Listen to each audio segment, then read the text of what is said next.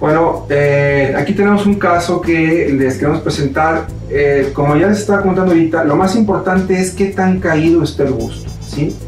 En esto depende qué tanto eh, hay que levantarlo, por supuesto, y dónde van a quedar las incisiones y posteriormente las cicatrices. Si tenemos un busto muy caído, pues obviamente eso implica dejar incisiones ya sea alrededor de la areola o alrededor de la areola abajo o alrededor de la areola abajo y una cicatriz horizontal que estas tres, estas tres incisiones nosotros llamamos en T invertida. Y estas incisiones son para cuando tenemos bustos demasiado grandes, demasiado caídos. Si nosotros tenemos un busto donde no está tan caído y no hay tanto volumen que levantar, podemos hacer una cirugía más conservadora como es la que les estamos presentando ahorita en este momento, en donde la paciente tiene una ptosis o una caída leve, es decir, el complejo areola-pezón que nosotros llamamos CAP está en una posición no tan abajo del surco o a nivel del surco.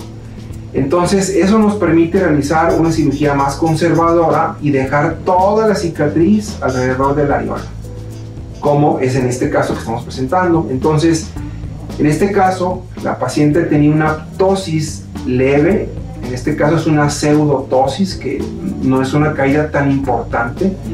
Entonces, la paciente deseaba una mejoría en el volumen y tener su busto en una mejor posición.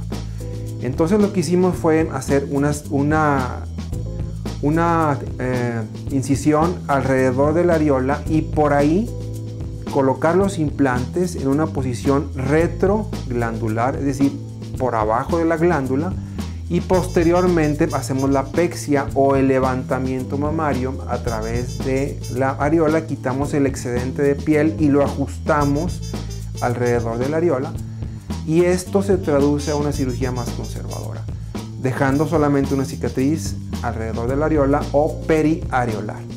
Esta es la más sencilla de las o de los levantamientos mamarios propiamente Después, si la paciente tiene un poquito más abajo su busto, hay que combinar esta técnica con una cicatriz vertical para poder ajustar mejor la piel y poderla levantar. Si la paciente tiene todavía su busto mucho más caído, hay que combinar estas dos incisiones más una incisión eh, horizontal a nivel del pliegue y con eso corregimos muy bien toda la caída.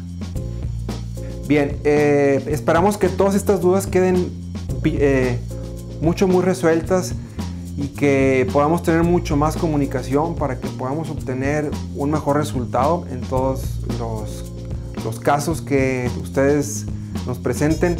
Eh, siempre es importante tener una muy buena comunicación. Obviamente, si podemos ver fotos, aunque no puedan venir aquí, aquí al consultorio, si nos pueden mandar fotos, con mucho gusto podemos contestar o podemos hacer un simulacro de, una cirugía y podemos obtener así un posible resultado, Si no es posible que ustedes vengan, esta es una manera muy adecuada. Si ustedes pueden venir al consultorio, es lo mejor para poder platicar, poder medir, poder ver fotos y poder tener una mejor comunicación, poder eh, pues saber exactamente lo que lo que tenemos que hacer en cada paciente. Entonces, les invitamos a que nos escriban, a que se comuniquen con nosotros, a que nos dejen sus dudas y estamos en la mejor disposición para poder contestar todas ellas.